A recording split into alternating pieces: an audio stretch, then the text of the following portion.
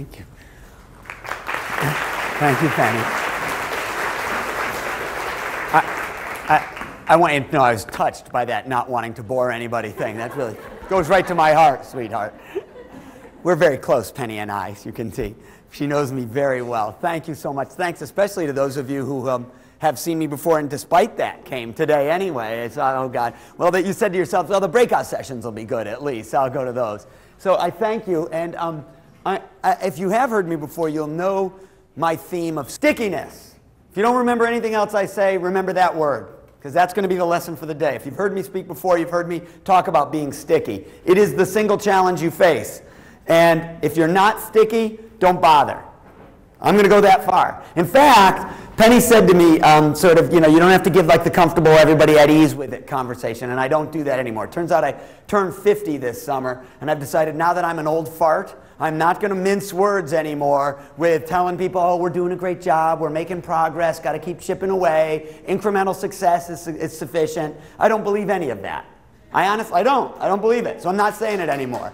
And, and here's why. I had, it brought home to me, I told Penny the story, and she said, you know, share this story. I think it's kind of relevant that, you know, now that you are turning very old, apparently, as, since she's 29, she can make those judgments. Turns out this, as, as, as uh, I have a friend who's an editor with Backpacker magazine, and we have, over the years, uh, uh, gone hiking and climbing and done stuff together. And, and every year he kind of concocts another challenge. This year's challenge, he said, We've done some long distance hikes together. Last year we tried, we in fact successfully hiked the Grand Canyon from the south rim to the north rim and back in one day, about 17 hours. It's 44 miles, 11,000 feet of vertical. He does these things so he has a great thing to write about for the magazine, but also as a life adventure. And the intent is that there's some doubt. Will, it, will we be successful? In other words, we try to make these real challenges. So this year, because we're turning 50, he concocted the idea of us trying to walk 50 miles nonstop across Zion National Park. It's one of the great southwestern parks. It is stunning country. If you've never been there, put it on your short list of places to get before you die. Here's a shot of me on what's called the West Rim Trail at about mile 29. Uh, we started at 3 in the morning, headlamps on our heads, the whole bit. We were, the intent was to finish at 11 o'clock. and we started in the northwest corner of the park and in the southeast corner of the park. And I'm not actually telling all, you all of this so you think, oh, wow, what a serious hiker he is. The real interesting thing of this whole hike was that at about the 37 mile point, my wife and daughter, who came and actually were, God bless them, sort of support crew, they actually met us at a couple of points coming in on side trails with food resupplies because we travel with very light packs so we can move quickly because to maintain that kind of a pace over very rough terrain, over that duration is physically quite challenging. And if, if you've got to carry a 40 pound pack, you're dead. But if you can carry 20 pounds, just your water, food, emergency gear, you can move much more quickly. So indeed, we met them. And at one point in Zion National Park is a thing called Angel's Landing, which is this very skinny spine of rock that sticks out into the canyon. Anybody ever been on it? It's called Angel's Landing because it looks like only angels would be able to alight atop it. It, is, it really is wild. But there is, in fact, a a very precipitous walkout to it. And my daughter, bless her soul, and my wife met us at the 37 mile point. That's us looking down from the edge of Angel's Landing down into Zion Canyon, which is about 1,200 feet below. So you don't want to fall. They actually put chains there, the National Park Service, but you're still at grave risk. They have the little warning sign that says if you are pregnant or, you know, frightened of heights, don't go out here if there's lightning. Highlight of the hike, highlight of the hike for me was that my daughter, who hiked in the side trail to meet us at this point, first words when she saw us, now we're at mile 37 of our 50 mile hike. How you doing? Are you okay, Dad? Yep, we're doing great. She goes, you ready to do it? She's going to go do Angel's Landing with me. So scramble out onto the thing because that was part of our hike. To get our 50 mile total, we had to go out and back. And bless her soul, she scampered out there like a mountain goat. I could barely keep up with her. We cruised out there. Here she is doing one of the very precipitous sections. That's literally an 800 foot drop right there. And it's all sandstone. You're thinking, what kind of a loser parent is this guy that he brings this 13 year old? There's a point to this story. And the point is simply this it drove home two really important things and why I'm not mincing words on this anymore. One, I feel blessed and fortunate that my wife uh, aligns with me on our view about nutrition and physical activity in our household, and that we're imparting that to my daughter, 13, my son, 15, that they live this lifestyle. I feel we really are blessed. I, I think that is a blessing that we have the ability, the wherewithal, the education, and the inclination to, to teach our kids that. That's not the case for every kid in America right now. In fact, for many, it's, many parents don't have the ability. Maybe they don't have the knowledge. Maybe they're a single parent working two jobs. They don't have the time to engage with children. So it really, I truly recognize that it's a gift. The second thing is, I believe that every kid in America is on a cliff just about that steep, about to fall off. Because that's how grim the health prospects are for that generation. And I am not exaggerating when I say I believe it is at least that steep. In fact, quite frankly, the risks to my daughter in that picture are more apparent and more controllable than the risk factors young people growing up today are now facing. Particularly around the evil triad physical inactivity, poor nutrition, and tobacco, the big three, which are in fact the primary causes of premature death in our society. Everybody knows that, right? Everybody in this room knows that data, can probably tell me about the state data, your county data, you got it all. So, that's my real reminder of my little hike. That that is how precipitous the problem we face is and how important it is we not mince words, we not pat ourselves on the back for our small incremental successes and say, we have to actually change society at a wholesale, massive level. And that's the talk I'm going to give you. So, my apologies in advance if that makes you squirm a little, but my job is to be in the squirmer. I'm supposed to make you squirm. If you're comfortable with where you are right now, that's not a good thing. So, if you're okay with that, I'm going to go ahead and challenge you because I think that's the best thing we can do is continue to challenge ourselves to do better. And I'm going to do it by touching on these handful of things. Open up with a little more perspective built on what we were just talking about. You have to hear my rant. I'm sure many of you have heard my rant before if you've heard me speak.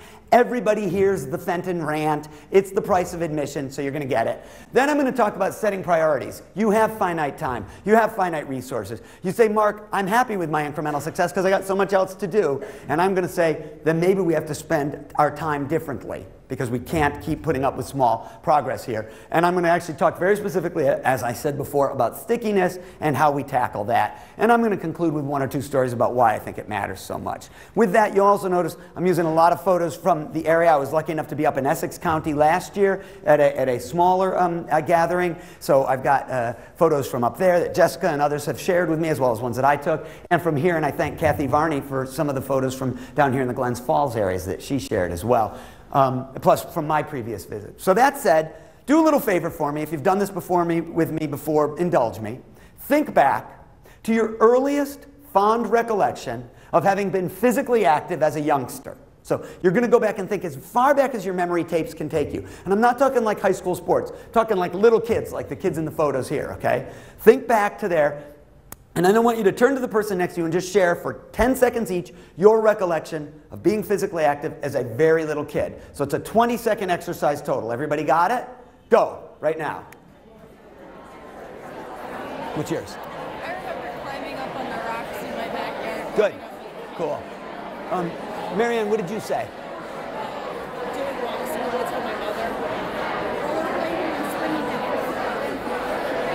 Just playing outside with my cousins. Cool. Did they live nearby? Yeah, I had eight boy cousins. I was the other girl. Oh, really? Yeah. So you no, no slowing down, man. You had to go. Slip and slide. Oh, excellent. That's a great one. What did you say? Uh, sledding. Oh, great. We said playing in the creek and building forts. Josh, what was yours? I was telling Sue mine was pretty much my parents telling me go outside, don't come back till the start. roller skating when you had to put roller skates on your shoes. With a key, right? Okay, guys. All right. Now I know it would be far more fun to do that than listen to me for the next hour because it really, it is true. It's, isn't it fun to sort of pull those memories back up? And in fact, you know, and, and by the way, people get all active when they're telling the story. They tell climbing trees, they're acting things out, riding bikes, even though you really ride your bike like this, not like this, but you. And you know, and, I heard interesting things playing in the neighborhood creek, the slip and slide in the backyard, playing with her eight boy cousins, only girl in the group, so I had to keep up with them. Josh remembers being sent out of the house and told, just don't come back till it gets dark. It's a classic male scenario. Get out of that, get out, you and all of your stinky friends, out of the house. I'm going to ask you a series of questions. I want you to raise your hand if your recollection is affirmative. That is, if your answer is affirmative regarding the recollection you had. How many of you did you recall being with kids of only the same age and gender? So you're only with, if you were a 12 year old girl, you're only with 12 year old girls. Okay? How many remember an adult having to be present for the activity you recall? How many remember it being at a scheduled time and place? How many remember a uniform being an important part of the activity that you recall? How about an umpire or a referee being a part of the recollection? So not a lot for that. How many of you remember being with kids of different ages and different genders? So what was ever available? How many remember it being not at a specific time or place? Could happen anywhere. How many remember an adult not having to be present necessarily? Who could not have gotten away with what they were doing if an adult had in fact been present? Two hands on that. Wonder what he was up to. Um, how many remember a wheeled vehicle? So roller skates, you remember the old roller skates that needed a key. But a bike, a trike, roller skate, skateboard, something with wheels on it. A big wheel. How many remember water being part of your recollection? So you remember playing in the creek and damming it up. We used to dam up the creek, make little you know, ponds, and then try to catch pollywogs and stuff like that. If, you were, if I were to oversimplify it, who remembers to some degree or another sort of being a free range kid? That, that if, you if you say, yeah, I guess I was kind of a free range kid, hands up. Okay. Two last questions. They're the only part of the thing that matters, if you ask me. They're the, they're the part of the story. How many of you believe the majority of children today, over 50%, are free range kids? Okay, that's interesting. How many believe it's good for their health that they're not free range? We're, we're doing them a great favor to not have free range kids, that they're, they're much healthier. We're fighting the childhood obesity epidemic by them not being free range. So you're putting your hand up, and why is it good for their health that they're not free range? Absolutely, because it's much more dangerous out there, right? Kids are being plucked from the street every day by psycho guys with big, thick mustaches who are lurking behind every tree. Tell me, please, somebody in the room, tell me. Over the last 40 years, from 1970 to about 2000, data tell us the number of kids walking and bicycling school to school went from 50% to 10 to 12%. And over the same time span, the number of kids being driven by a car went from about 10% up to 50%. So they almost identically swapped. Over that time span, tell me the percentage increase in violent crime against kids by people who don't know them. Weirdo abductors like me stealing kids off the street. The percentage increase, who knows the answer? Is it 100%? Did it double? Is it 500%? Is it five times worse? 10,000%. What's the number? You're holding up a number? Oh, that's the number? Zero? You really think that? Do you know it or do you think it? Have you, have you read it? Did you happen to perhaps read it in that special issue of Time magazine, The Case Against Overparenting, in which they said, in fact, there is no evidence that there is this dramatic increase, that the kid, in fact, would be no safer necessarily. We think that, We've been told that, and the media heightens that by telling us if there's an Amber Alert in California right now, we know about it here in New York. But we can't find the data to support that. I work with the National Center for Safe Routes to School in North Carolina. We've looked very hard at the longitudinal data. Now, let us agree, there are more single parent households. So there are few parents at home in some cases. There are more parents working two jobs. So kids end up being latchkey kids. Certainly there are dynamics that are different from a social standpoint. But the idea that, that there's this dramatic increase in violent crime against kids. Now let me say this. One thing that is different is roads are wider, traffic is faster, vehicles are bigger. So the, the physical landscape might be a little more intimidating, but I'm going to suggest to you, those are all things I can do something about. As opposed to the imaginary fear, which doesn't even really exist, I could actually remedy those things like traffic that's too fast in neighborhoods, couldn't I? If I actually knew how to do that. There's the challenge of the day. Just so you know, I don't think I'm so smart that I'm the only guy talking about this. Richard Louv, L-O-U-V, picture in the top right there, wrote a book called Last Child in the Woods. Anybody here read, read it? Did, was it great? It's a, it's, and it's a very engaging read, isn't it?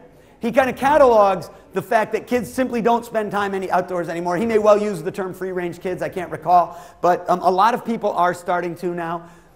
He talks about not only the, the physical challenges, that is the increased risk of obesity, for example, among kids that aren't physically active, type 2 diabetes, all that kind of stuff, but he also talks about the developmental challenges. He says they are not developing the same skills that we developed as kids, the inventiveness, the creativity, when we had to go play by ourselves. In fact, Shane Gould, an Olympic swimmer, former Olympic swimmer in Australia, spoke out when I was at their National Physical Activity Conference there a, a couple years ago. I was their keynote speaker. She came out and said, I think kids are actually held back by over organized play. I think the fact that they don't make up their own rules and have to negotiate when, what happens when the goal, ball goes out of bounds, those are the very same skills that you use around the boardroom table or at work as an adult, but they're not developing those skills. When everything they do is regulated by an adult who says when we start and when we finish and what the rules are, and there's a whistle, and you're only with kids of the same age and gender, same size, so there's none of the variability that being a free range kid induces. So I'm going to challenge us to think about this fundamental question could we, at least conceptually, embrace the notion of restoring the opportunity for kids to be free range kids again? Now, we can live in fear land. We can stay in fear land and just say, no, I'm not ready to do that. But I think there's a real high price for that. And I think it's well uh, illustrated by the chronic disease apocalypse that we're talking about. And here's the, the rant that I think you have to hear. Everybody wants to talk about this one. They want to talk about the obesity epidemic. Everybody catalogs the data that shows that now we're fully at one third of American adults with a body mass index that is over 30. That's the cutoff for obese by medical measure, and that it looks like that curve is continuing to rise. That there's no relenting in that. And the, the media has jumped on that with titles like Girth of a Nation. And I think we are very wrong minded in talking about it that way. And I think it's well illustrated by this special issue of Time magazine on a disease we used to call adult onset diabetes. Now, we can no longer call it adult onset. What's the clinical term? And why can't we call it adult onset diabetes anymore? Seen it in 9 and 10 year olds, like the young lady pictured on the front of the magazine, right? And five page article devoted to this disease, the bulk of which looked at genetics, your genetic predisposition, to diet, to drug research. A lot of it was about when are we going to get the breakthrough drug that will cure type 2 diabetes.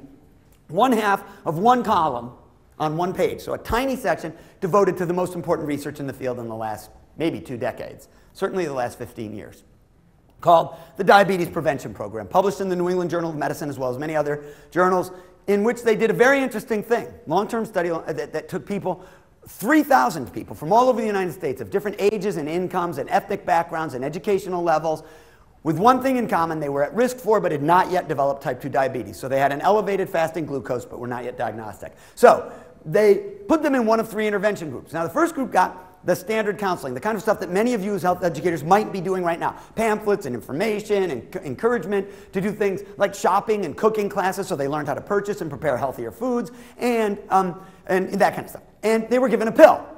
And those people, um, well, they had two groups actually, and half of them got a pill that was metformin, an actual diabetes medication, and half got a placebo, meaning the pill didn't do anything, right? It's called a randomized controlled trial because even the researchers don't know which group you're in. You're just coded by number, and only at the end can they analyze the data.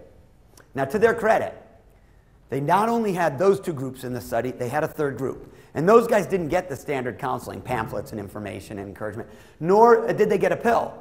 But what they did get was put in an intensive lifestyle modification program, which included really active, engaged, like cooking and shopping classes, and at least 150 minutes a week of physical activity. So they set up walking groups and all this. And by the way, we're not talking training for a marathon. We're talking about 30 minutes a day, on average, five days a week, brisk walking. Everybody got that?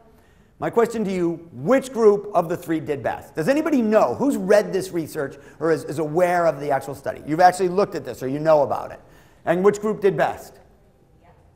The third group, are you sure? Did they do a little bit better? They did a lot better? First of all, every hand in the room should be up, and it will be in a moment.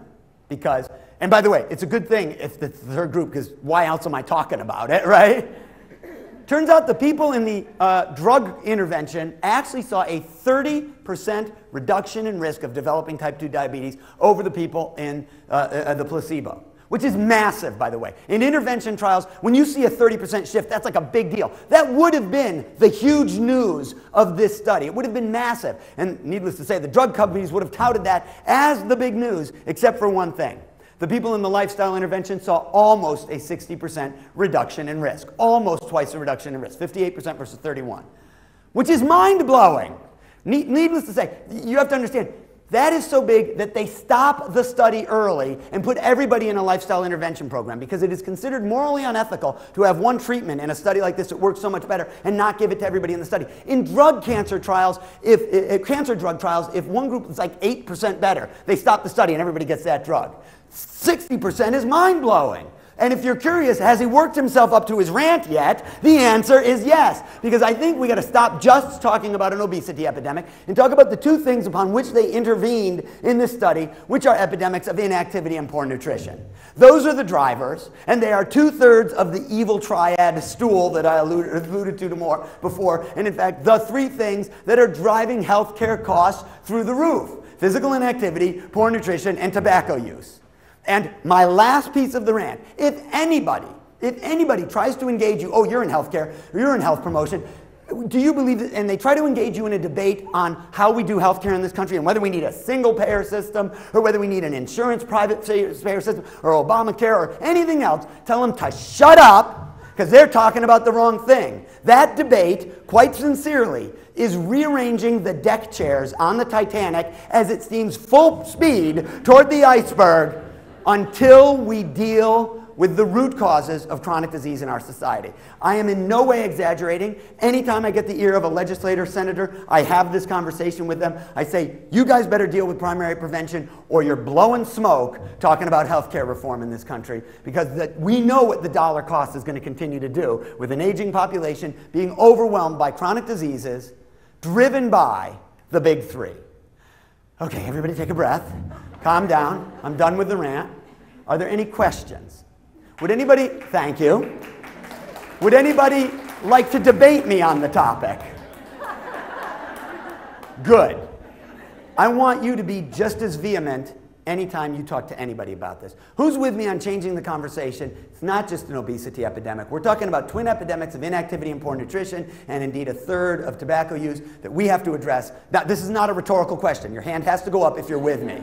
And, and by the way, this is not raising your hand, this is copping out. I want your elbow as high as your ear. Who's with me? It's the only thing I'm going to ask you to do, for God's sake.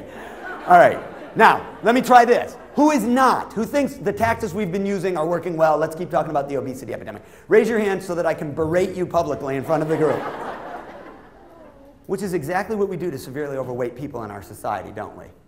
We blame the individual, we make them feel horrible about themselves. It is completely the wrong way to handle this. I am sincerely certain of that. So I beg you, join me in, in this. If don't have to do anything else, this campaign to recalibrate the conversation. Because let's be clear, here's what the epidemiological studies tell us. Physical inactivity and poor nutrition are independent risk factors. If we can help somebody eat better and be more active, irrelevant of weight change, their risk profile changes. Does everybody want to, everybody agree with that? Everybody understands that. Independent risk factors, change them, we gain benefit. Great. Good. That's a pretty good starting point. We can calm down now. We don't have to rant. I probably will again before we're done, but at least for a little while I won't. And now I'm going to get to a really very practical question. How do you spend your time? If that's if you believe what we've just said so far, what should we put our effort into? And I'm going to actually tell you about five real things I was invited to do, and I'm going to describe them, and I want everybody in the room to vote for the one you think is most important, because these happen to be five invitations in the same week. I wasn't going to necessarily be able to do all of them. You have the same problem. There's constant demands on your time and resources. What do you spend your time on? So, five things. One, America on the Move national campaign to get everybody to wear pedometers and increase their daily steps and improve their diets. They said, come speak at our national conference. Two, serve on my local planning board in the town of Scituate, Massachusetts, about 30 miles south of Boston. We happen to have a planning board meeting that week, and among the many things we were going to talk about, new subdivisions and stuff, we were talking about possible acquisition of land for a trail. Three, um, the town of Belmont, near where I live, was having their community-wide health fair. The state legislator had seen me give legislative testimony. She invited me. She said, could you come to our health fair, lead a walk, set up a table with your books and DVDs, uh, give a big talk so everybody hears, kind of hand-to-hand combat. Get people out, try it, let them see how easy it is to walk. Right? Make, it, make it real to them and help change their lives. Four, state of Massachusetts at the time was updating their highway design manual. It's the guidelines that the engineers use that tell you how wide lanes are and where you can put stuff and um, signs and things like that. And they said, would you come and address the team on bicycle and pedestrian accommodation? And five, there's a company promoting Nordic walking. Who's, anybody heard of Nordic walking? The idea of walking with ski poles, with, you know, basically hiking poles to burn more calories. And so their theory was this use the marketplace, man. We're a capitalist society. So what we're going to do is make a DVD of you talking about walking and health. We'll give it as a gift when people buy things. So you're helping us sell our poles. We're helping you get your message out. Pretty logical. And admittedly, five very different approaches. Agreed? Dramatically different. Marketplace, you know, manual, blah, blah, blah. Okay, everybody vote for one. How many say national campaign, Americans with pedometers? Everybody increasing their daily steps. Hands up for that. No? Nobody? How about local planning board meeting on the acquisition of land? Okay, so I'm going to call that about 20. How many say local health fair? Change lives, hand-to-hand combat. They walk, they realize how energizing it is, they come back excited. Good, excellent. That's about the same, maybe a little higher. Highway manual, how many people think that's? Okay, look around. These are the nerds in the room. Look at the nerds. Yeah, let's talk about curb radius. That's, that's fun. I'm an engineer by training. I went to MIT. I'm allowed to use that word and not be, it's not perjurative for me to say that. How about Nordic walking? Use the marketplace. Some people didn't vote. Thank you very much. You're, you're the only person that cares whether the Fentons can pay the mortgage. This would be the only revenue, revenue generating activity on the list. Thanks. All right, so let's talk about these. By the way, just a quick survey sample. How many of you have actually used pedometers and tried to use pedometer health promotion programs? Oh, it's funny you didn't vote for that. And how many of you put on health fairs of some sort or another? Hands up, not a rhetorical question. This is not raising your hand. Let's try again. Who has done or been involved with a health fair? Very good. And how many of us have shown up at local planning board meetings on something that didn't affect my house or my neighborhood? Did not affect, so something other than my neighborhood. Wait, wait, let's try again. Not my house, not my neighborhood, so a community issue. All right, very good. And how many of you have weighed in on the state highway design manual in any way? Uh huh, yeah, I thought so. So it's interesting how our votes and our behavior don't correlate quite as well, do they? Think about it. A lot of people voted for pedometers and, and, and health fairs. In fact, let's analyze these and let's start with the things you do, not what you voted for, because apparently there's a fundamental disconnect there. Health fair. A lot of us do those. I've been at millions in my lifetime. Walking Magazine, I used to do them all the times. get invited all the time. Now, so, fundamental question what do we talk about? What do we recommend? How much? I think it's actually a pretty easy answer. I think you talk about walking because it's an easy entry activity. I mean, tell people to do whatever they can, but if we can't get them to do anything else, they can walk. It doesn't cost anything, no special training required. And in fact, the national guidelines are very clear. If you can get that 30 minutes a day, it's why, by the way, 150 minutes a week was in the diabetes study, because that's been a standing recommendation that really started back in 1996 with the Surgeon General's report. And increasingly, we now recognize that activity can be broken up. So the person who is walking a child to or from school 15 minutes each way, this is over at Abe Wing Elementary, just down, down the road here in Glens Falls. Um, uh, uh, even that person accumulating that activity sees the same benefit as far as reduced risk for uh, cardiovascular disease, type 2 diabetes, osteoporosis and its complications, a growing list of cancers. For example, we know from major epidemiological studies not only are physically active women at lower risk for breast cancer, but among women diagnosed with breast cancer, you see a higher survival rate among those who are moderately physically active. So every time we get another major study, we see that has great benefit. And by the way, physical activity has great benefit. We, we also know um, that kids need more like an hour a day minimum. And in both cases, these are minimum recommendations. All of the research suggests more is better. In fact, as one of the researchers at Harvard once put it at a conference we were at, she said, look, some activity is better than none, more is better than some. So there's a dose response. We know that to be the case. But if at very least we want adults doing a half an hour a day, kids doing an hour. So I got a great story for the health fair. My question is, why didn't you vote for the health fair? You all had your hands up. I do them. I've done them. Why do we not vote for that when I gave you the choice? Not a rhetorical question. I'm asking you to tell me right now, why did you not vote for it?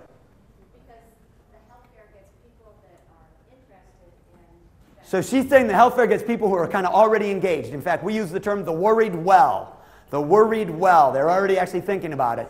Here's, and why else? Is there any other reasons?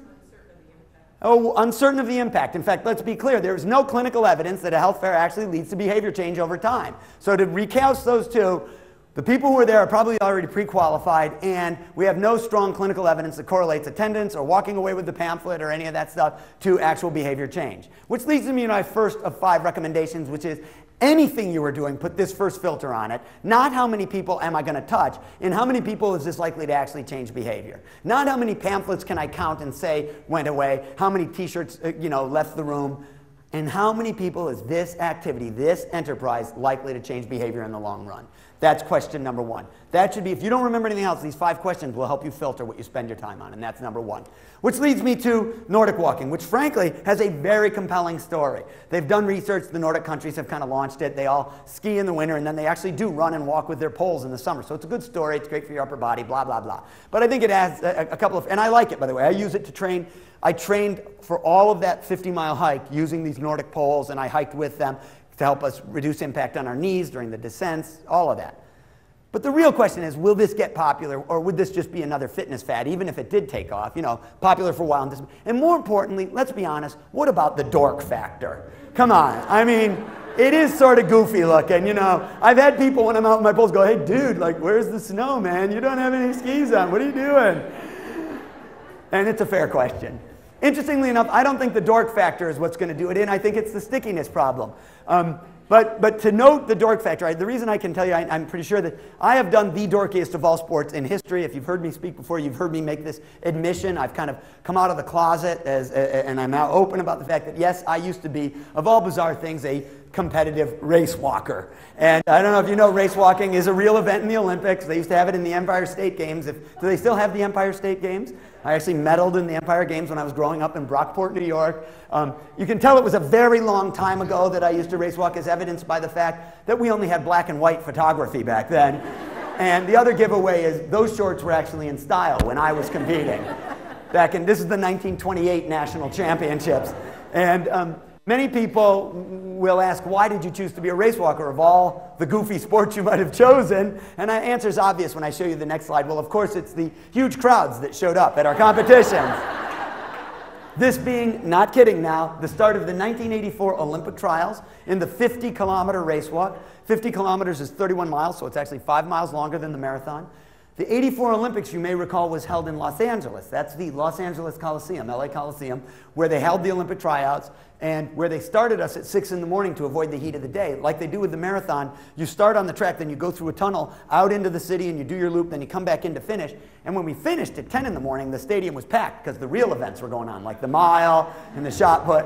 But at 6 in the morning, when they started us to avoid the heat, you have to look very closely to see my mom and dad right over there. That's really them.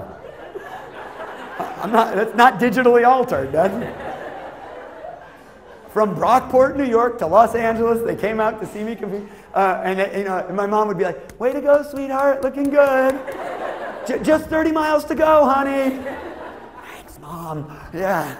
So anyhow, uh, I know a lot about dorky sports, and I don't think that's what's going to. I mean, people, God, people go, gorgeous day outside, they go to a, a, room and get on a stationary bicycle with 10 other people and drip sweat on one another while somebody screams instructions and that, okay, fast, now slow, now, now up, now down, all that stuff. And, you know, they can, it's gorgeous out, right? You're at the foothills of the Adirondacks, and they're in a room. And I'm not knocking it. I hope you do spinning. It's great, but it's no more less dorky than this, that, that concept. That's not going to be the problem with, um, with, Nordic, with uh, Nordic walking. The problem is going to be the stickiness problem. So let's talk a little public health data. Here's a very simple intervention study that tried to get people to walk 40 minutes a day. A guy named John Jakicic did it. He's a pretty good friend. He's now at University of Pittsburgh's Medical Center. And, and they had three groups in the study. One group was told, walk your 40 minutes all at once. Go out and find a time to do it. Second group was told you can break it into four 10-minute walks when it's convenient. And the third group was told not only can you break it into four 10-minute walks, but um, we're going to put a treadmill in your house. Got it? So that's what SBT stands for, short bouts with treadmill. And then they did all the things that the research suggests will get people to exercise more. So they um, called them on the phone with email and, and send emails to remind them. They uh, taught them how to warm up beforehand and how to stretch afterwards and how to pick a good walking shoe so they don't get injuries. Uh, they gave them an exercise log and a diary. And if you filled it in um, and then turned it in, you got a prize, like a t-shirt or water bottle. And not unlike nutrition studies that have done the similar things, you, you could shift behavior. If this was five a day fruit and vegetable consumption, you had you know, a food diary, same effect, right? They all three groups increased their exercise minutes per week, which is frankly, from a public health standpoint, not the interesting question. The interesting question is after the six month intervention period, what actually happened? Did they continue to increase the activity? Did they at least maintain it, or did it drop off? And I'm going to ask you all to vote for one of those three arrows. But before you do, I'm going to give you inside information, which is that at six months, they had been walking enough to have shown statistically significant reductions in weight and increases in aerobic fitness. So to say, again, they objectively measured weight and fitness. After six months of moderate daily walking, people were losing weight and getting more fit. Got it? So based on that, everybody in the room has to vote for one of the three trend arrows, which is the trend for the total group. How many believe they continue to increase their physical activity? Hands up for that. How many, okay, thank you for your optimism. How many believe they at least maintained their physical activity? Six months was long enough to create the positive biofeedback loop, that's the theory, and they maintained. real hand waves, not this, not this, this, good. And how many believe it dropped off? You would be all the health educators in the room, right? Who do this work all the time and know that that's precisely what happens. It's very distressing, but anybody who does this work will tell you, they say, you know, I'll be able to tell you about the one or two anecdotal successes. The guy who lost 70 pounds and is off his, off his cholesterol meds now and stuff like that. But for the most part, we know people tend to regress back to the initial condition, particularly when it's just a behavior change program. This is what I call the stickiness problem. The problem is not in creating the short-term acute change, Short-term increase in fruit and vegetable consumption, short-term increase in activity. It's getting it to stick. I could show you similar graphics in the nutrition field, same shape curve with the stickiness problem. By the way, if this, there's not many in the physical activity field because most of these studies end at six months and we declare victory, not recognizing what the long-term effect was. Notably, there are lots of weight loss studies which generally include a physical activity and a nutrition component. They are all shaped like this. This one compares being on a self-help program, the red line, to what, yellow being in Weight Watchers. But in both cases, you see early success followed by weight regain. And again, anybody who works in weight loss programming, I'm sure would confirm this and say, yeah, for the most part, if you're doing a behavior change program, I can tell you about anecdotal successes, but at population level, we have not cracked the code. Okay? Is everybody okay with this? Does anybody want to contest this? Great. I mean, you can tell me your anecdotal success. That's not what I'm looking for. I want to tell me about the study where three years later we know people have successfully. Now, what's the result? When I look at attainment of that 30 minute per day, five day a week, or 150 minute per week recommendation through what we call leisure time physical activity, LTPA, you'll notice the yellow line here represents those who attain it. It is not only stuck at about 20%, it has been there, of the, of the US adult population, it has been there for 20 years. So guys like me have been running around flapping our lips, doing TV shows and books and magazines and videos to no avail. No avail. We're still as inactive as we ever have been. We're barely holding the line. By the way, the researchers who do this research, this is based on what's called the Behavioral Risk Factor Surveillance System. It's a national sample telephone survey. It strongly overestimates the number of people attaining the 30 minutes per day because people tend to tell you what they want to hear on a telephone survey. When they've done validation studies, actual objective measurement of physical activity, the number is much closer to 10 to 15%, probably half of that figure. Same, by the way, with BMI. People tend to tell you they are taller and they weigh less when you're talking to them on the phone than when you're measuring them in real life. So this is very grim news. And it means that maybe, just maybe, we ought to stop talking about leisure time physical activity or exercise, consciously going out and carving out time to go to the gym, to work out, to train for a marathon. Maybe we need to take another approach, which is in fact philosophically what has happened in the movement at the national level. Centers for Disease Control, all their funding is now directed much more toward what we call lifestyle-based physical activity. Physical activity is a part of daily living. So good, good con concept. And by the way, the nutritional corollary, we are not trying to get people on diets. We're trying to get them to eat healthfully as a way of life, right? Because we know how long a diet lasts until I get to my target weight in time for my class reunion, and then I go right back to what I was doing before. So it's about lifestyle-based change in physical activity and nutrition. And I don't think, I mean, I'm sure this is jives with all of your heads. If you've worked in this field, you're here. So that's actually what America on the Move is very fundamentally about. And I've even written a book called Pedometer Walking because I do believe pedometers can be a good motivational tool for the front end of the stickiness thing, the getting people to change acutely. Um, but the interesting question is, do they work as far as long-term lifestyle change? Now, um, uh, they, they have done interesting studies on this. And when we tell people, by the way, you can be physically active as a part of daily life, what are the kinds of recommendations we give? We don't say you have to go to the gym. How else can you add steps to your day, for example? Park farther away. Stairs instead of the elevator. Was anybody staying in the hotel here? Did anybody stay here last night? Did you find the stairs? They're actually not locked doors and they don't set off fire alarms. It was delightful. I could, you know how many hotels, you, you know, you, the, the, the door says, don't go through it because it'll set off an alarm. It was, it was lovely. But in general, is your observation people are taking the stairs instead of the elevator? Just as you look at daily life, are they doing it?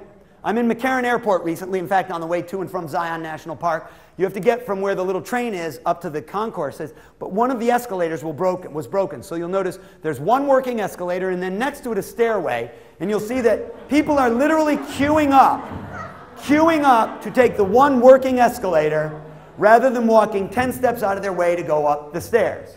And to be crystal clear, I am not making fun of those people. I want to be very clear. I suggest you we have so engineered physical activity out of our daily lives, they don't even see the stairs as an opportunity, right? They just don't connect with it. I only saw two kind of nerdy guys take the stairs while I was there that guy and me. And we're the two guys that carry our luggage as a backpack, not a rolly bag, which is frankly a kind of a pain to pull up steps. We have gone so far as to engineer, we try to reduce caloric expenditure from rolly bags to garage door openers to clickers for our televisions, right? I mean, think about it sit down lawnmowers. Uh, all of that is about reduction in caloric expenditure in the end. Um, and, and that's the result. So I'm thinking that, and by the way, when the Cooper Clinic did a study of lifestyle versus structured exercise, two notable things from their graphic. This is ener eh, energy expended per week in the study. What you'll notice is over the six month intervention period, both groups increased their, their, their physical activity, all right, including the people that went to the gym and the people that got pedometers and were told build it into daily life.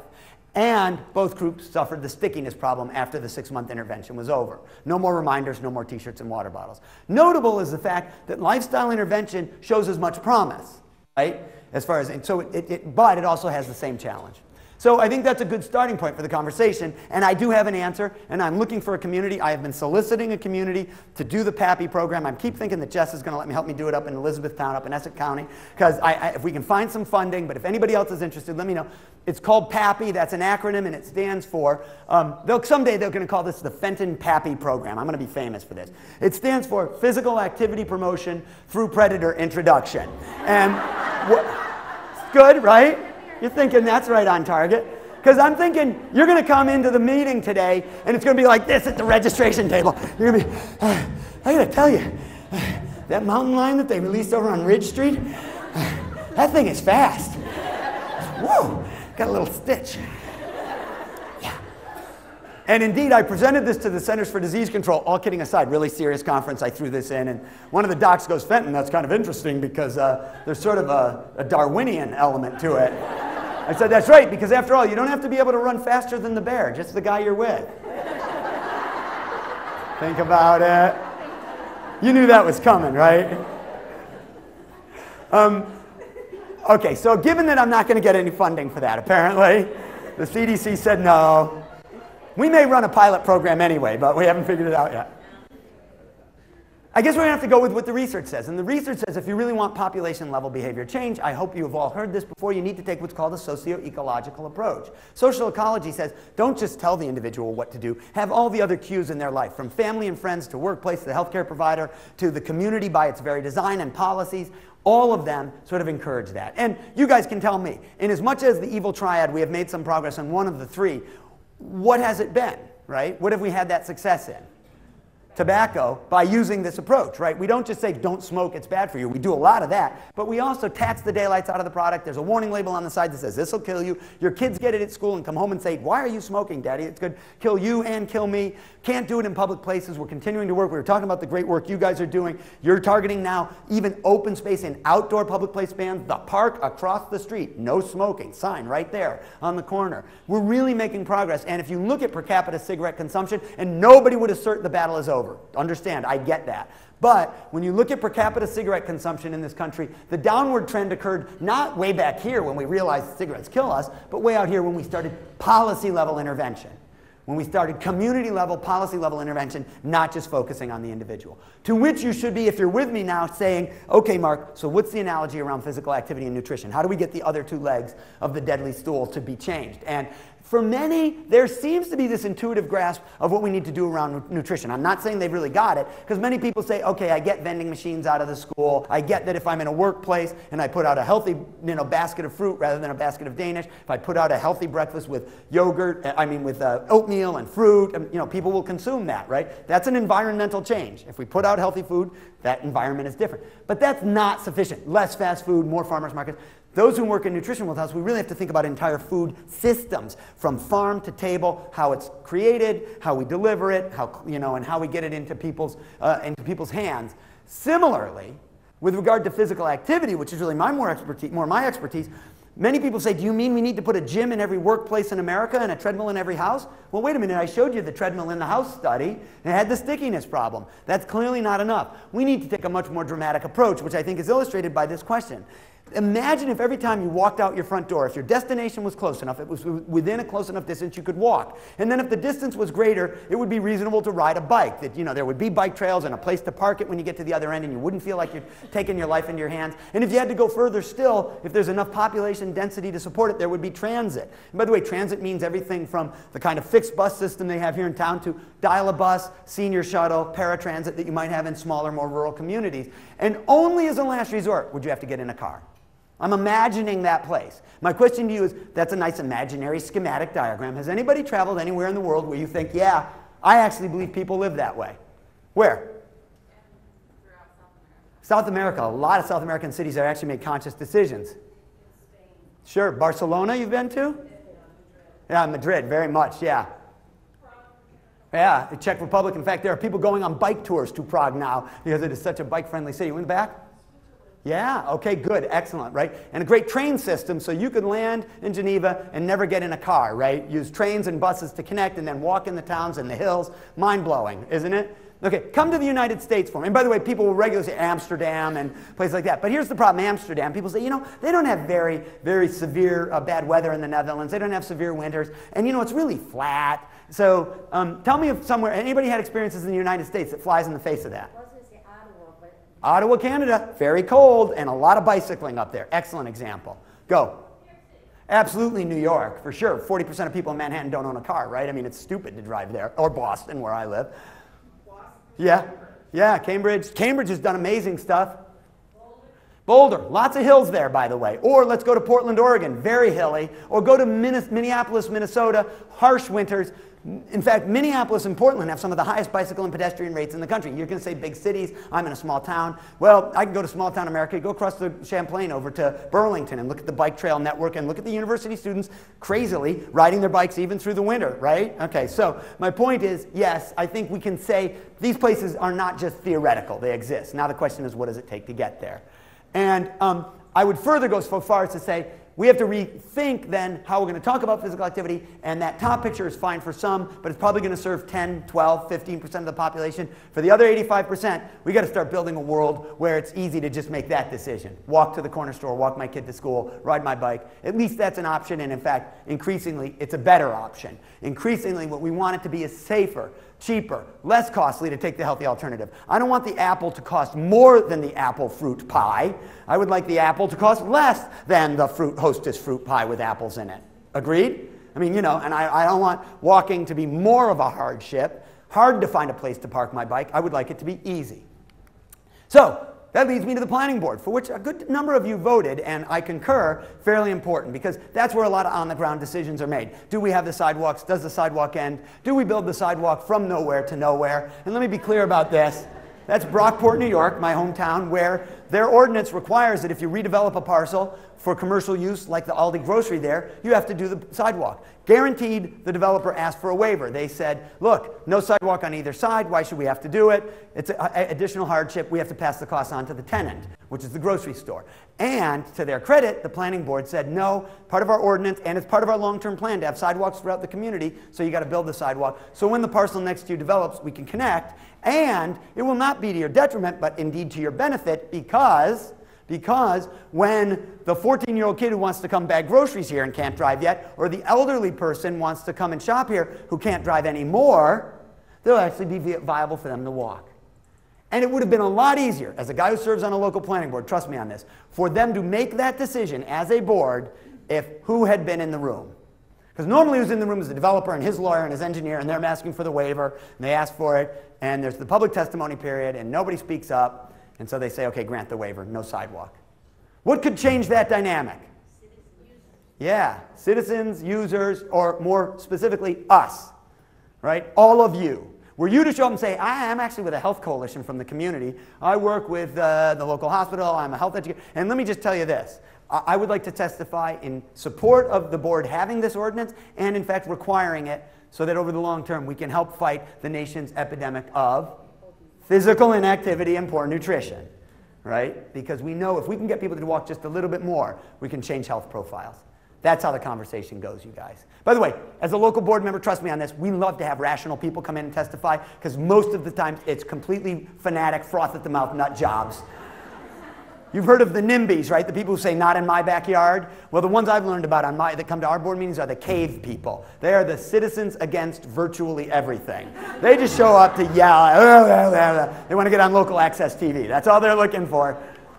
So, you should say to me, Mark, is there any data? Is there any evidence that we can build places? If we build it, will they come, basically? And the short answer is yes. It boils down to basically these four things. These, in fact, are the four questions that I use to filter every decision I make on my board and that I believe each of us should use to filter our work. Am I creating a greater variety of destinations within walk, bike, and transit distance? Are they well connected by things like sidewalks and trails and bike lanes? Is it inviting when I show up at my destination to be there on foot, on bike, in transit? And last but not least, is it safe and accessible for all ages, all abilities, all income levels? And let me just repeat there are studies that validate each of these or some combination of those, which I'll talk talk about very briefly here. For example, a lot of uh, photos, in fact, many from up in Elizabethtown and Essex County from the workshop last year, hence the snow. Um, land use, what we're really talking about is building places where, um, you know, neighborhoods are compact like the more traditional downtowns, shared open space like public parks, post offices and grocery stores nearby, multi-use, meaning even retail on the first floor, housing above, which even in the smallest towns, main streets historically had. Frequently, the business owner lived right above his own store, so you had a mix. I, I take these photos from my work around the country where um, I met these little boys coming out of a church, actually, in a neighborhood where new sidewalks had put in, and I, there was some subsidized housing. And I said to the guys, How do you like the neighborhood, the new sidewalks? There's a little park. They say, It's great. They say, We're really psyched because the pastor opened a little, uh, uh, um, like a, a, neighborhood store, a corner store in the church behind them. That blue building's a church. And they were coming out and they had snacks in their hands. So I asked, Where you coming from? And they say, Yeah, he opened a store. And they said, It's great. And I said, How come? They say, Well, it's really not a neighborhood if it doesn't have a corner store. Now, interestingly enough, these kids, I guarantee you, have never taken a course in urban planning at age 13. Yet they know the mix of uses, having neighborhood and a recreational area, the park, and the church, and a little corner store stuck in the back. Made now, I would love to partner with that reverend and say, hey, could we make sure some of the snacks are healthy? Or maybe all of them? So let's not do chips and soda. Could we come up with some dollars so you'd have some chillers, so you could have some fruit? For the kids. Because now we can connect both the physical activity and the nutrition. The kids have a place to walk, and it's a place where they get a healthy snack. That's how we have to start thinking about this stuff. But, or we could look at this business, a small business in Madison, Wisconsin, where the business owner in an otherwise residential neighborhood had painted on his thing on the building, hey, please drive slowly on this street. Most of our customers come on feet. Pretty clever, right? He's saying, I know I'm a neighborhood store. He's thinking about it from a business perspective, but I like it from a public health perspective. Furthermore, when the town had a buy a bike rack program, if you as a store owner pay for the bike racks, we as the city will install them. He said, Yeah, I'll take two. It's a great public-private partnership, and I think it's something that you should all be replicating everywhere. Bike racks are an easy way to change the dynamic, and it doesn't have to cost the city a lot. If all you do is installation, buy them at wholesale. They're reasonably cheap. Businesses, institutions, organizations. The Rotary can sponsor a couple, you know, and put them in front of the library. You know, there are those kinds of opportunities. Second is the network. You need the facilities to connect the different destinations sidewalks, multi use trails, bike lanes, and transit. And yes, I know some of your com smaller communities are going to say, Mark, we don't have a transit system like here, like buses here in uh, Glens Falls. I get that, but maybe you have paratransit dial a bus. There is research that tells us regular transit riders get more physical activity which should not be striking. If you think about it, the act of walking to or from the bus stop at either end of the trip adds statistically significant number of minutes, separate from any other activity that a person does as part of their daily commute or travel. Um, I love the fact that the system in town here has bike racks on the front. I actually chatted with a bus driver over there at the stop right across the street this morning, right across from City Hall. I said, so do the bike racks actually get used? She goes, oh, you wouldn't believe. All year round and, you know, lots and all year round. And I said, mostly students. She goes, no, no, a lot of our regular riders. You know, we got people who don't have cars, people who can't drive. Said, they're using them right through the winter. In fact, the bike racks are critical to people who want to ride weather changes in the middle of the day so they can ride home on the bus, throw the bike on the front. Um, we know that bikes do not have to always have striped bicycle lanes. We can use things called sharrows, shared use arrows. They can ride on street when the traffic and volume is low enough. We can have segregated multi-use trails. I show you that not very glamorous section of the American River Trail in Sacramento, California. It's underneath the elevated expressway. You'd say kind of gross. Why don't you show me a pretty trail? Because that's the most important two miles of the trail. It's the most important two miles because it's the part that connects the innermost suburbs to downtown. And it's the part that's not just for recreational riding, which gets a handful of people. It's for the everyday user, like that guy commuting to work who takes one car off of that highway, one less car we have to park downtown, reduces his greenhouse gas emissions, and is more likely because he's doing it every day to actually get 150 minutes a week, not just 20 or 30 minutes because he rides on Saturday morning. Dramatically different. In fact, a study by the Robert Wood Johnson Foundation that looked at what are the most used sections of trail. If you're somebody where you yourself or your community is working on trail development, I urge you, I beg you to use these criteria as you prioritize what you're working on. Number one, have the trail connect to the other parts of the system sidewalks, bike lanes, on street facilities. Number two, get to destinations on the trail. A 20 mile trail in the middle of nowhere is just not going to see. I mean, it'll be gorgeous, and Mr. Hardcore Serious Cyclist will use it, but that's not who we're trying to get to. I want my mom to be able to ride to the pharmacy. I want, or walk to the pharmacy. I want my kids to ride their bikes to school. So get to destinations. And number three, think of the trail as actually an integral part of the community, not an escape from it. In fact, in the study, they use the term social venues. Trails as a place for people to collect and interact. In Rapid City, South Dakota, the trail is so important a um, I'm sorry, uh, a commuter route for kids going to school. It is one of their priority snow clearing routes. Let me say it again. It is one of the first things plowed when they have new snow in Rapid City, South Dakota, because they know so many kids will walk and bike to school on it that if they don't plow it, you ready for this? Those kids will actually either be walking in the street or ask mom for a ride, and that makes it much harder for them to plow. They have all those parents driving those kids to school. So they clear that to keep road, the traffic's clear so they can do their road plowing. So you've got the Parks Department and the Public Works Department working together on that. These are the ways we have to have these conversations. Third, when I get to my destination, it's got to be appealing. My mother in law would walk to the local pharmacy in our little neighborhood in Scituate, Massachusetts. She would never walk to the grocery store. The pharmacy was a classic storefront. The grocery store was set up like that, just behind a parking lot. That subtle difference, suburban style design, top right, versus in town design, village design, lower left, or what we would call traditional neighborhood design, was enough to deter her from walking. She would drive to the grocery. I suggest to you there is data that tells us bringing the building to the street, putting the parking behind, street trees, awnings, benches, all those things that we sometimes think of as aesthetics are anything but. In fact, those street trees might provide the shade so she's cool in the summer. The bench might give her a place to stop when she's halfway there. So think about all your potential users, not just the young and able bodied. Um, this, this bicycle parking in front of the Austin, Minnesota uh, library, public library, there's a little sign here that says, hey, if you need a bike rack, a bike lock, you can borrow one inside. So they not only lend bikes, books, they lend bike locks. The theory is they know a lot of kids come to the library, many come without their locks. They don't want to deter them from riding their bikes. So they provide great parking right in front of the door where it's very visible and secure and a bike lock. And yes, cold weather environments. I know upstate New York has lots of cold weather and a lot of snow in the winter. Uh, Anchorage, Alaska, we see people biking through the winter. And the one thing I would say is we have to work more toward having our bicycle parking covered. Pull it under the eaves of the building, as they were going to do here after we observed this in our workshop there. Last but not least, it's got to be safe. So I can have all that other stuff there, but for the mom who's concerned about the well being of her kid, what do I do about getting across that busy street? Well, we know there are designs, and traffic engineers, amazingly, are really our allies. As is my inner engineer, I've got to defend my colleagues. If we ask them to build places where pedestrians and bicyclists and motor vehicles and transit can coexist, they can do it.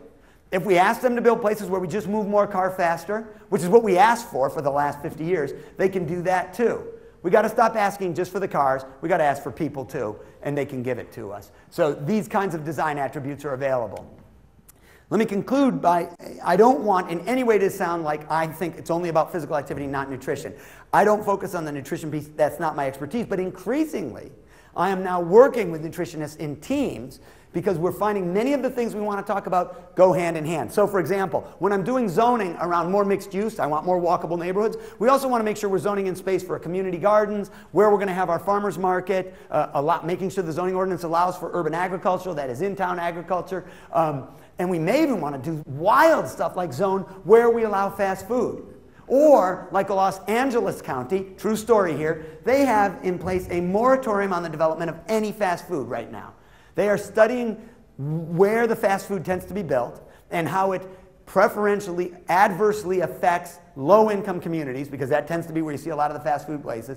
So they've been able to justify and had no legal challenge to the notion of no Chick fil A's, no McDonald's, none of that, no Taco Bell's not being built in LA County while they try to figure this thing out. By the way, studies like this one have helped bear it out. When they looked at obesity risk in communities, uh, urban settings, that, and that means just in town, not only big cities, what they found was being in a high fast food density neighborhood increased your risk of, uh, of obesity from anywhere from 12 to 14 pounds of overweight, just by virtue of being in an environment. If you don't own a car, by the way, notice that it's even worse because you can't escape that environment. It's your only food choice. Can you picture this? Think about the lowest income neighborhoods in some of our communities. Those are the ones where the only choice is a mini mart and a couple of fast food joints. There's nothing but processed, high fat, high sugar food, uh, high salt food there, right?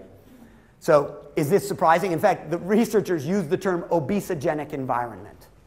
Obesogenic environment to describe that. Okay, so to recap, as I serve on a planning board, I'm going to think about all of these things, these elements that the research tells me. And if you're looking for where are the research studies that summarize this kind of stuff, activelivingresearch.org, maintained by the Robert Wood Johnson Foundation at San Diego State, phenomenal resource. You need to make the case to a city council, to a public works director. You can download the kinds of studies that, because we really have to have those kinds of conversations. Now you say to me, Mark, that's all great for the bigger cities, but I am in one of the most rural counties in the state of New York. You grew up in Brockport, you know what a small town in America, and, and, and how about a town with only 2,000 people? How about a town with 250 people? Well, let me just note this. I think that rather than being the places we ignore, they're the most important places. They are, in fact, the battleground because we know what our population in this country is doing. As our rural population is plummeting, it is not our urban population that's growing, it's our suburban population. And the reason we see that, what's really happening is the suburbs are essentially oozing out of our cities and towns. We're building subdivisions right up hillsides and so on. We're turning this, the lower left picture, into this at a phenomenal rate. And we're abandoning our downtowns, or at least we were for the last 30 years, as we built yet another strip mall, yet another big box, whether it was a Dollar General or a Walmart, and we're just sucking the economic life out of the downtowns.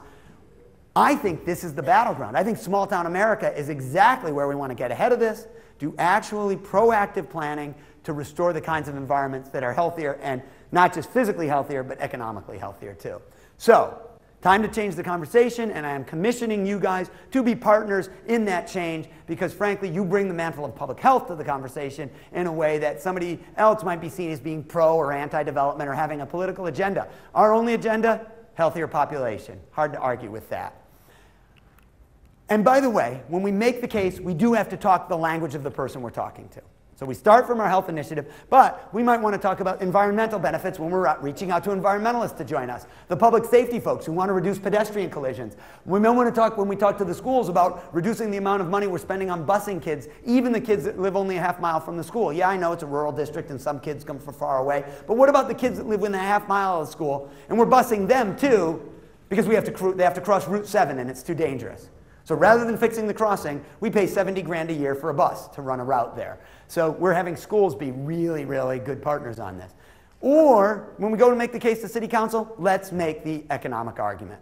All right, because when we're talking to city council, they may want to hear what's my return on investment? Well, let's talk about housing values. Let's talk about the fact that during the recent boom in foreclosures, the most walkable communities were the ones that saw the lowest rates of foreclosures on homes. Housing values were highest. When the National Association of Realtors writes on this topic and asks the question last summer what is the next generation of home buyers wanting to buy? Or we could talk about the fact that the developers along the Erie Canal towpath trail now sell that. That's a real estate sign along the trail in Spencerport, New York, and it says the woods on Canal Path.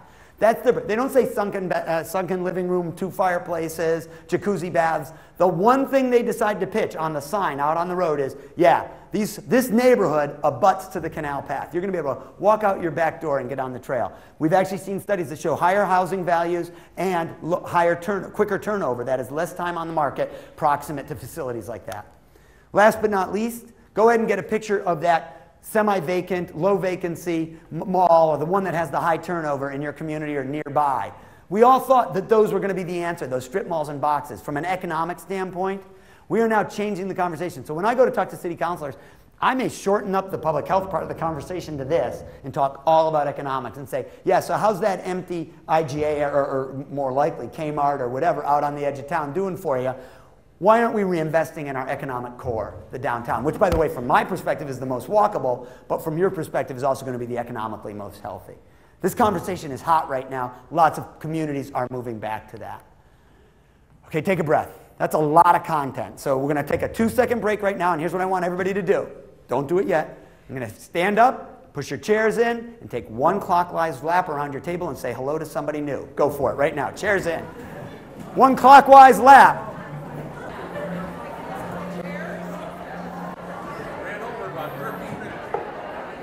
So are we over an hour? Did you lose some yeah, at the end? 63 minutes. No, I, I lost like. You lost three. Oh, okay. I lost like maybe one sentence, and it, no problem at all. You had 60 minutes, right? 63. All right, when you get back to your table, when you get back to your chair, reach for the sky, change the light bulb with both hands. Reach high, up on your up on your toes. Really reach high. It's a very tall light bulb. Reach really high. Change that light bulb. Very nice. Now shake those arms out. Relax. Have a seat. Very good. Thank you for doing that. I know you want to do a lot more. In my breakout session, you can go for a walk with me then. Then we'll go for a real walk. That's just to get the blood flowing. Your heinies have been sitting for a long time. They needed to, we needed to get that pooling blood moving again. All right, so home stretch. We're on my last of my five choices. Remember the highway manual that some of you voted for? Remember the nerds in the room that said, yeah, go to the highway talk? You remember that? You guys remember? It was like uh, two days ago that we started this conversation. So what I did was I prepared this really fancy presentation with like digital images, and I talked. This is a very common collision, four-lane road where the left-turning vehicle stops suddenly, and then the car behind them either hits them or tries to dodge around them into the right lane. Then I wanted to get the engineers to nod their heads and say, yeah, we can do this. And in fact, I talked about the fact that we're doing around the country what are called lane realignments, or you may have heard the term road diets. Has anybody seen or aware of a road diet in their community? Where a four lane road like this is reconfigured to have three lanes, one in each direction with a center turning lane.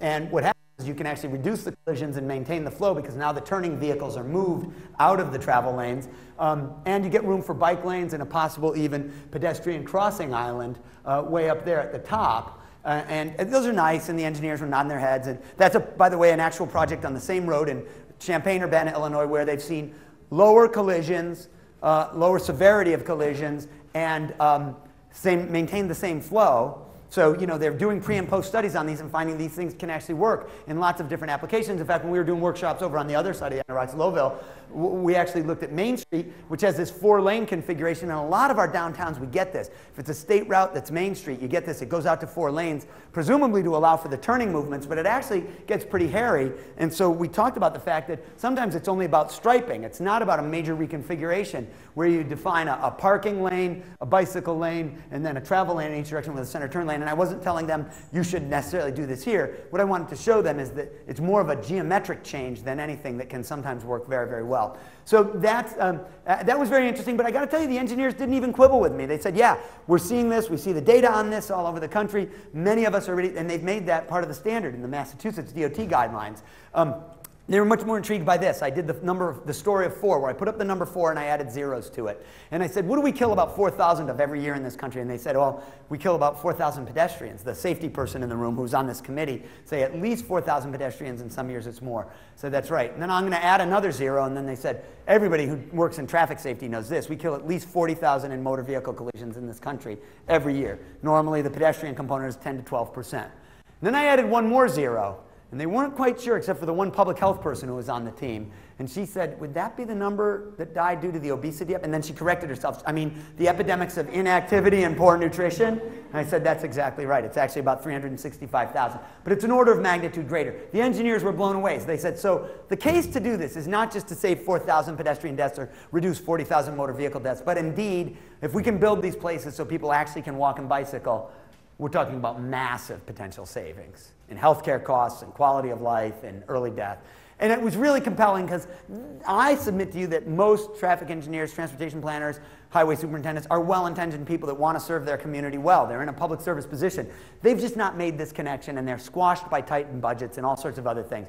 But I think helping give them perspective helps them jump into the fray. The mass highway guidelines are in fact now being looked at as being considered complete streets guidelines. Who's familiar with the term complete streets? Just making sure. So the idea there is anytime we touch a road, we take into account all four user groups, pedestrians, bicyclists, transit, and motor vehicles we really have uh, tried to make that a part of how we do uh, um, all roadway planning in Massachusetts. So, to recap, of my five choices, I definitely went and talked to the highway manual guys. I do go to my local, did go to my local planning board meeting. I went to America on the Move, but not to talk about pedometers and t-shirts and water bottles. I put the flame on them and I said, look, if you're going to be out there getting people to walk, give them walkability checklists. Turn every one of them into an advocate. Get them to show up at planning board meetings so that we build the sidewalks. And I think that's what we do when we do that kind of outreach and education. And I did the DVD just because I had time, but I didn't go to the health fair. And my point is, you guys voted differently than you have behaved historically, at least recent history. And you were honest with me, and I appreciate that. But I'm going to suggest our behavior should reflect what our intellect understands we should be spending our time on. You all voted for the stuff you thought was the right thing to spend your time on. I think you voted with me around systemic change. Now have your behavior reflect that. And if your boss isn't on board and they're not here in the room, then go home and lay it on them and say, this is what we got to be spending our time on.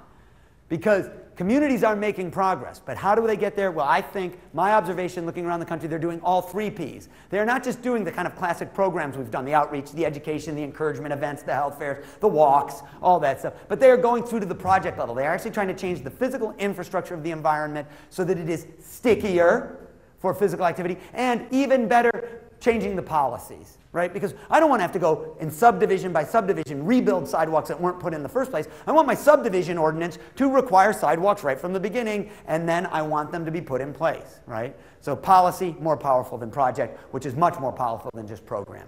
And if I'm going to do programs, I'm going to make them stickier. So I'm going to do Safe Routes to School, where I launch walking school buses, right? Designated routes to school that an adult walks, picking kids up along the way with a fixed schedule. My wife did one in our neighborhood, very successful.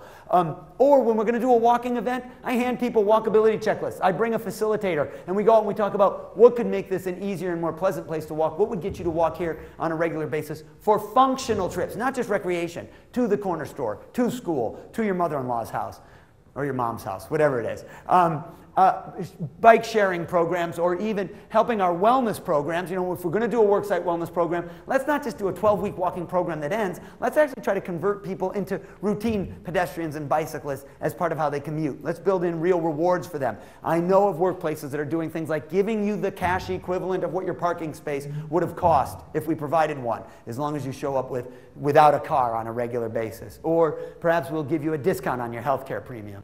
By the way, if you're going to do stuff like this, particularly on these walkabouts, and I'll talk about this in my breakout session, I just want to reiterate this, include kids.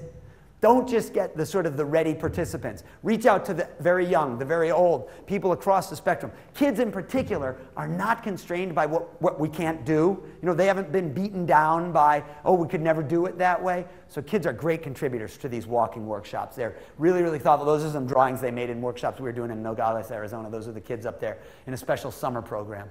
Um, with regard to the projects, everybody thinks it's the really expensive stuff, the million dollar new roundabout, you know, things like that. But it could also be just the conversion of a small four-way stop sign to a small mini circle or roundabout in the neighborhood. Or as we talked about before, the installation of bike racks. Um, or it could be very inexpensive stuff like striping a bike lane. Or how about a, a community-built trail? So it's not one that the city does at all. It's the scouts that have adopted this section of trail. That was up in the North Country near uh, Fort Drum. Um, uh, um, and it's a scout troop that helps maintain the trail. Or how about just signage? So that sign from Delray Beach, Florida, the circles, you're in the middle and it says you are here, and the circles represent a five minute and a 10 minute and a 20 minute walk. So they are assuming, if you're looking at this map, we're going to encourage you to walk to your destination by telling you how short it is. We found that if you tell people distances, they spend so little time walking in America that if you say it's a half mile, they go, oh my God, that'd take forever. I don't know, what's a half mile? Does that take like an hour to get there? God forbid you say a mile. That's like, ah, infinity. Off the edge of the planet, isn't it? I think you fall into the abyss. Now I tell them a 10 minute walk, they go, I can walk that. Yeah, 10 minutes. That'll be nice. So signage that, you know, simple things like that can actually make a difference. And at the policy level, it's things like what do we clear for our snow clearing? Where do we draw our school district lines? Do we build our district lines to try to maximize the number of kids that can walk and bicycle? Do we have no bus zones that are actually reasonable? Uh, are the facilities there? Um, how we build new housing, building trails, um, uh, sidewalks, pathways, all of that stuff. And let me just share, Kathy um, uh, Varney and Jessica is, is, two people who I have worked with before here in Glens Falls and up in Essex County, shared some of the stuff. Kathy was telling me about the roundabout just down the road here on the walkabout. We'll go to it if you're inclined. Um, you can imagine people scoffed at that. They do in most communities. When that first comes in and the engineers propose it, everybody says, oh my God, people are going to get in that circle and not know how to get out. They'll just go around forever. They won't, they'll just circle and circle. You know, we have elderly drivers in this community. They'll never be able to. Uh, I'm serious. And, you know, it's going to cause collisions and huge delays. And here's the problem um, many people make an emotional argument rather than an evidence-based one because we have evidence. We've now studied these enough, and we know properly designed, compact enough slow speeds with good design attributes like quality pedestrian crossings like these here, set back with separator islands. These things actually can maintain flows, reduce both the frequency and severity of collisions, and uh, if, if I understand correctly, people are a lot less uptight about it than they were then, and back to my point, we've got to show up. The Healthy Heart Program was one of the vocal supporters of, of, of the Roundabout being an appropriate enterprise to make it safer for everybody, for motor vehicle users, as well as pedestrians and bicyclists, right? And those are the kinds of conversations we should be in. If I had a choice and I could be at a health fair or I could be at the public meeting to make sure I add my voice to those supporting the roundabout, I don't want to sound unkind, but I'd go to the meeting. Because remember what we said about the health fair? Not so sticky. This is a hugely sticky change. And it's just an example. I'm just giving it as one. As are all the street crossings, as are the pedestrian flags they're using. They're using all sorts of innovative crossing techniques and trying to build on that. Um, Um, what about complete streets? Well, let me just say this. That is, there is a national movement. There is legislation pending still here in the state, right? That hasn't been finished out yet. And, uh, and, um, and uh, the premise is fairly straightforward. Um, but what we have to do, we have, we're getting pushback. So groups like um, uh, uh, the, the associations of both county and a town highway superintendents have a memorandum of opposition to complete streets. They claim it's an unfunded mandate. So this is a little quote from inside there. And uh, let me be clear, by the way, as an, my, an engineer, I got to be. Every highway guideline is an unfunded mandate. Every rule about, there's an entire manual called the Manual on Uniform Traffic Control Devices, and it says at an intersection, this is how the stop sign must be used, blah, blah, blah, blah, blah. Lanes, they're all unfunded mandates. We expect you to figure out how you're going to pay for this stuff. Now you get some state funds, you get some local funds, you'll use your money so this is a, a, a, really vapid argument, the notion it's an unfunded mandate. Now, if they make the case there are some places where we simply can't do it, the right of way, there's a steep wall here and there, we don't own enough right of way. I acknowledge that. But I think as a principle, the notion that we always think about all four user groups, pedestrians, bicyclists, transit motor vehicles, before we conclude the design, I think is a perfectly reasonable, in fact, it is a mandatory expectation. And I would go so far as to say you all should be part of the conversation. Who here has been involved in this dialogue, either signed on to a letter of support or in any way weighed in? Rhetoric, not a rhetorical question, I'm trying to get a sense of the room. So a handful, okay. We should quadruple that number because that's about a quarter of the room. So everybody should be giving voice to this.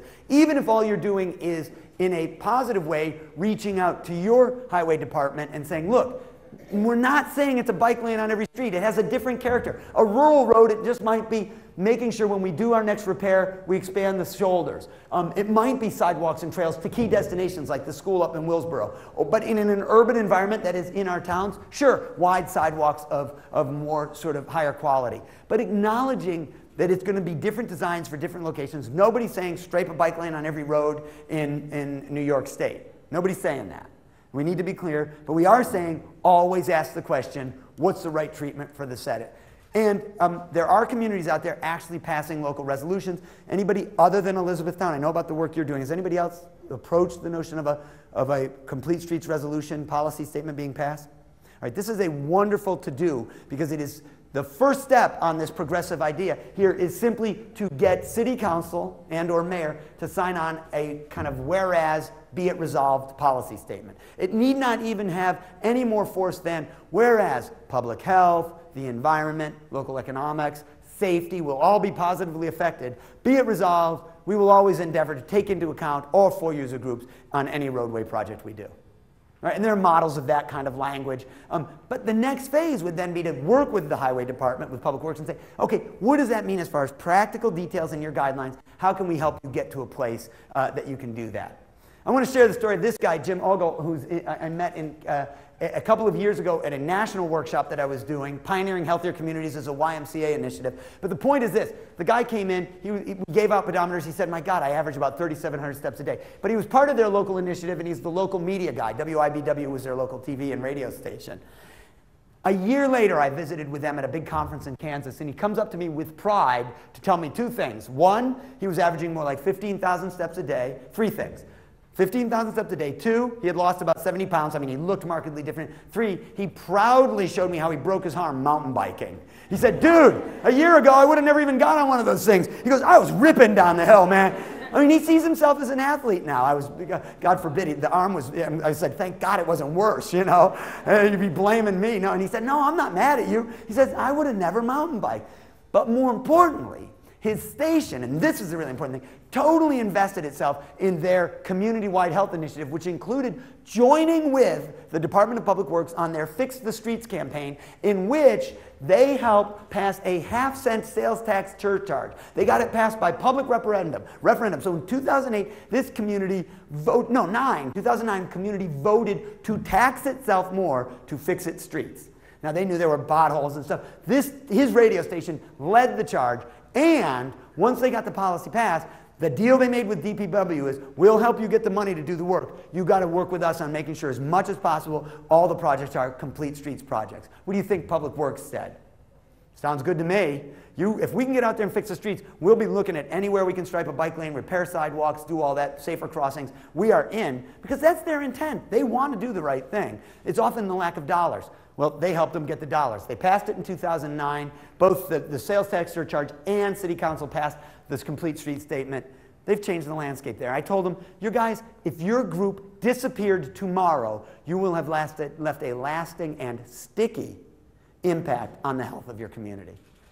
But, and I'm not trying to embarrass you, Jessica, but she shared with me some of the kinds of things happening right here in Essex County, a little closer to home. You're saying, oh, yeah, that's Topeka. I don't know. Could we do it here? Well, they've got a, a local Complete Streets Coalition. They've got a working group that includes people from not just public health, but public works and planning and transportation and DPW supervisors at the county level. Um, they're doing a uh, smart growth application for active transportation and a recreation plan for the thing. I love the notion of an active transportation plan. It says we're not just talking about people going on trails or sidewalks because they're working out. We're talking about being able to transport ourselves actively from one place to another. So kids walking to school, seniors walking to the local store to shop. Though, and a mini grant program that includes improvements, some of them modest. It could be painting crosswalks, installing bike racks. Um, some of this stuff is not rocket science. It's just facilitating a conversation that most people, once you explain it to them, would nod their heads. By the way, is this the bridge you guys are thinking about trying to redo? Yeah, it's actually been discontinued. Geez, and I always wanted to go and jump because of the no diving and jumping sign. I thought before it goes, I should jump at least once, my inner troublemaker. You remember the, how many of you did things when, that when parents couldn't be involved? Yeah, I was that guy. Um, um, and I would urge you, as you think about trails, to think about trails not, again, as recreational corridors only, but as actual transportation corridors. So even up at Willsboro, tiny little, I mean, it's barely a town center to speak of, but they have a, a, little trail and a sidewalk combination that connects town hall and a couple of their businesses to where the schools are, and you can walk more safely between them rather than out on the road. Remember my three Ps, you know, you can use all three. The, the program level on trails could be to create a Friends of the Trail group, to have trail cleanup days, uh, to raise endowment funds for, for maintenance over time. The project would be actually designing and building the functional links, but the policy would be, look, we never touch a road, we never build another subdivision without thinking about where the trail goes and building it in. Now you're saying to me, Mark, we're not building subdivisions right now, the economy's in the tank. This is exactly the time to update policies. If you were ever gonna work on a zoning ordinance or a complete streets policy, it's when not a lot of construction is happening. Let me be clear. Once you get to the point where we're back in the go-go days and there's a lot of building happening, that's when we have the friction. The developers are going to push back. They're going to say, we don't want these additional requirements. Right now, nobody's even talking about this stuff. This is the time to look at things like zoning ordinances, trail requirements. And I will go conclude by saying I think Safe Routes to School has huge promise. You're going to say to me, Mark, rural schools, at least half of our kids come from more than a walking distance away. Remember the premise as many kids as possible, more safe physical activity more of the time. If they are close and it's safe enough, get them to walk and bike now. And where they're not close or it's not safe enough, try to improve the conditions. Because we get health and safety benefits, but we even get academic benefits. We know more physically active kids perform better on standardized tests, all of that kind of stuff. Um, these is from the, the work we did over at the Abe Wing Elementary when we went over and visited there. Very enlightened principal um, at the time who was really dedicated to this. She says, I know if my kids are walking and bicycling to school, they come more ready to learn. Their, the, Safe Routes to School national program actually talks about a formula of five E's, which is the same as the three P's. It's the programmatic stuff like education and enforcement and encouragement programs. It's the project stuff like the engineering, and then it's of course the policy, changing the rules on pickup and drop off. So enforcement might be is, is convincing parents not to be dropping off on the left side of the street facing oncoming traffic. Or it might just be the installation of crossing guards. You know, it's not elaborate stuff. But of the five E's, I cannot overstate this. The fifth E is the most important evaluation. And it is, in fact, the first thing you do. First thing to do is find out how are kids getting to this school, by what travel mode, and why? How many kids are walking and bicycling? How many are being driven by mom and dad, and why? And just so you know, all of the tools to do this, tally sheets, parent surveys, they all exist on the National Safe Routes to School website. Has anybody used any of this stuff yet? Has anybody done any of this? Did you download stuff from the Safe Routes website? Was it helpful? It, yes, you're saying? I, I just want to make sure. You can tell me if it wasn't, but my experience has been people say it's, it's turnkey. They will even let you, you can submit the data to them and they'll crunch the numbers and give you back graphics and everything that show you morning and afternoon comparisons of while kids walk.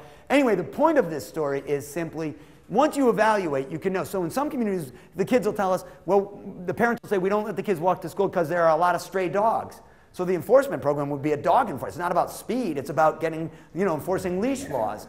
In another community, you'll find that everybody says, well, if I could just get across this one street, I'd let my kid walk because the rest of the way there's good sidewalks and straight. Okay, good. Maybe that's where we install the crossing guard or put in a, a light, a signalized intersection. Um, and to go a step further, to reach every kid, maybe we need to do walking before and after and at school. So there are communities where, uh, when the kids arrive, there are opportunities to walk. In Dyersburg, Tennessee, they built a walking path out in the backyard. And when the kids arrive early, it's a very low income school. A lot of kids come in for breakfast. And they, they say after breakfast, or before, either way, you can go out and walk. They have popsicle sticks. You earn a stick for each lap. They have a walk a marathon program. They have prizes every time you complete one. Um, so even kids coming by car and by bus are able to do it. Or in Columbia, Tennessee, what they uh, realized was they had a park right next to the school, and so they've actually built a remote drop-off location for the buses at the opposite end of the park. It's only about a 12-minute walk through the park to the school, but the result is that these kids now are, even the ones coming by bus, are being dropped off.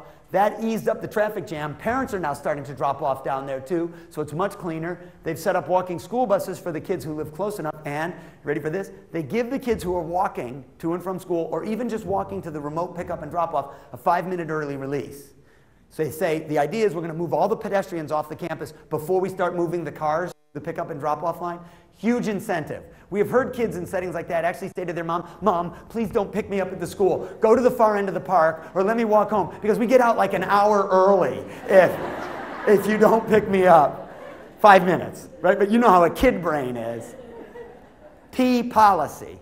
Change the rules. By the way, the bless his soul, the principal at this school who adopted all this as a rule, this is the policy now, these new procedures, is now the superintendent of schools in that district. Young guy, originally from New York. He still wears a Mets cap. We're out there directing traffic, he's got his Mets cap on. And he's now the superintendent, he's rolling it out to all the schools in his district. He says, I'm going to actually show a measurable decrease in cost because I'm going to be able to eliminate a couple of buses when all is said and done.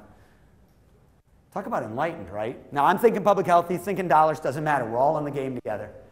And I, again, not to give short shrift, to the nutrition side of the equation, you're going to have great breakout sessions on this stuff. But more and more, we're realizing the three P's apply. Whether it's the programmatic stuff, like a rotating or a virtual farmer's market. Why do we only have one farmer's market right downtown on Saturday mornings? How about a church parking lot in one of the lower income communities hosting it on Wednesday afternoons? Reaching out to the very communities that may not come to the one in the downtown area. Or how about community gardens that are attached to the curriculum at the schools and to the senior center so that we have stewards even through the summer months? Or looking at our zoning to look at where our food deserts are, those areas where there isn't good access to fresh fruits and vegetables, whole grains, and saying, what would it take to get in there? Maybe even working in, with the existing stores, the mini marts, and saying, what do you need? Do you need a loan for chillers and refrigeration for the produce? What, you know, what would help us get healthier options in there?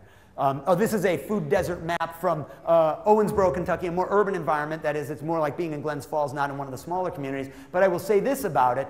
When they actually mapped the grocery stores, the red dots, and the convenience stores, the green, they were blown away how much of this kind of convenience food, which is really low quality. It's think the, those hot dogs that rotate on the little thing all day long, and everything is prepackaged, high fat, high sugar, high salt contents. And they said very easily they could identify two areas where population was fairly dense, no fresh fruits and vegetables available, and so those are they're targeting for redevelopment of, of healthy options. Okay, home stretch, here it is.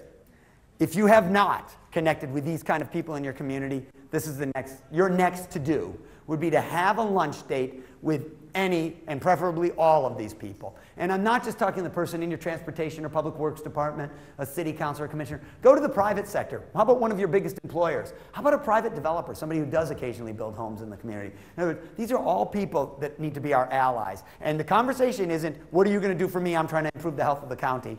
The question is going to be, I'm trying to improve the health of the county, and I think a lot of what I want to do aligns with your goals. How can I help you? Very different way to have the conversation. It's, you've said that's just how you reached out to public works, and I've seen in communities all over the country. You know, it's, it's very effective because they are not the bad guys necessarily. These are resources, and by the way, you'll have a copy of. I'm, I'm going to give Penny this, so we'll put it up on the site. I assume you put these PowerPoints up on the website, right, Penny? Are you in here? And yeah, there she is, and you're nodding. Can we make these available? Yeah, okay. Yep, so, so all these websites, these are just some of the national organizations and websites. Uh, and these are all the reasons to do this. Stuff I've talked about the 4,000 pedestrian deaths, the 40,000 that die in motor vehicles, but the 400,000 that die due to sedentary living and poor nutrition. And you know, global warming, air quality, our dependence on foreign oil, all of that. But I'm going to boil it down to a little story that some of you may have heard me tell before. A guy I met in Harrisburg, Pennsylvania, walking across a bridge that connects an island, City Island Park, out in the river, that has like a zoo and a minor league baseball diamond on it. So it's a good sized island to the downtown in the distance there. And they've done nice trails and they turned the bridge, what used to be for cars, into only a bike and pedestrian bridge. And they've got another bridge for cars now. And I'm taking pictures and I'm looking for stories and I'm saying to the guy, hey, uh, you get a lot of exercise because of this really cool bridge? Great place to walk. He goes, uh, no, not really. I say, well, where are you going? He goes, I'm walking out to the island. I'm looking for a story, right? He's got nothing for me. Uh, and, and, he says, and I say, where? Uh, and he says, well, I park at the island because the baseball diamond, the games are at night, so they only charge a dollar to park all day. Where are you coming from? Downtown by the state capitol. Well, why don't you park down there? Oh, it's like eight bucks a day. And they've done this traffic calming, you know, where they bumped out and they've put some roundabouts so the traffic's a little slower. It's just actually easier. I can get back. Well, how long does it take you? He says, oh, probably only 15 minutes each way. And how often do you do that? And I'm thinking he's going to say once a year I have to go down for a license or something. Oh, every day I work down there.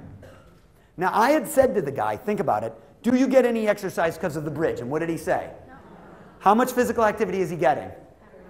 30 minutes, five days a week if he really parks out here all the time. But he doesn't think he's getting exercise. He thinks he's saving $7 a day on parking. $35 a week, 140 bucks a month, da, da, da. all right. And frankly, that's great, and I don't care, right? Because remember, we don't care if he loses a pound. We don't. It really doesn't matter. If he's regularly physically active, if that's all he does, we know he's going to be uh, present at work more often and more productive when he's there. He's going to take fewer absences. He will make fewer healthcare claims. He'll cost his employer less, have a lower chronic disease risk profile, live a longer, healthier life. Don't argue with me about that because the data is clear. If he's moderately active every day, if I can get him to eat some fruits and vegetables too and clean up his diet, I bet he loses some weight, he gets to a healthy weight without being on a diet. And in fact, he does it just by virtue of this routine activity and healthy eating. And no t shirts and water bottles involved.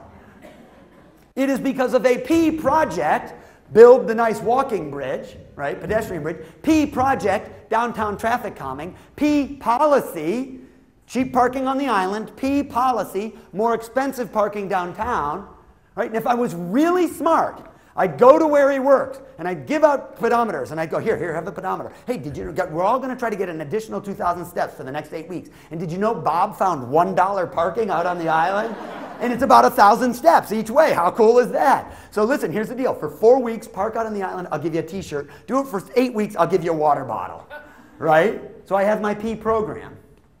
And I know that that'll help people get going, but it'll be much stickier because I'm doing it in a sticky environment. That's how we have to think about this.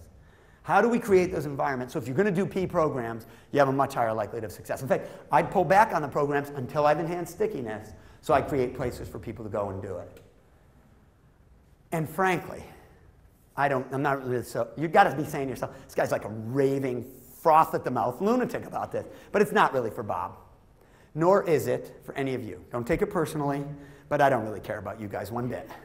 I don't. You're big boys and girls. You're adults. You're going to make your own decisions. You are, right? I care about him, I think. How old are you? Oh, no, I don't even care about him. He's still enough. I was hoping he was under 20, so I could at least call him a teen. You're very youthful looking. So here's the problem. If I'm not doing it for any of you, and I'm not doing it for myself, who am I doing it for? Specifically mine and their generation. This is mine frozen at 3 and 5. They're now 13 and 15. You saw my daughter a little while ago. But I've frozen them in time at 3 and 5 to remind myself that they are part of the first generation that's going to end up with statistically shorter life expectancies than their parents. And here is why I opened with my challenge and I told you I'm going to make you squirm. Because we cannot waste a second on this, or we're going to lose that next generation. They're the generation that it looks like now is going to track to have one in three kids developing type 2 diabetes in their lifetime. That's what the data projects forward. Shorter life expectancies than their parents.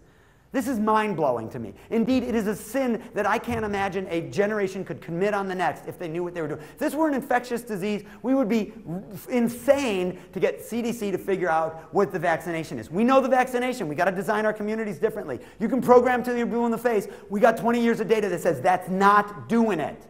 Change how our communities live, how we eat, how we prepare our food, how we get it to us, how we move every day. That's our only hope. That's my story. I'm sticking with it. I know you guys care enough to be here that you're going to too. Thank you so much. It's a real pleasure and an honor. And I'll look forward to working with you later. Thank you, guys. Thank you very much.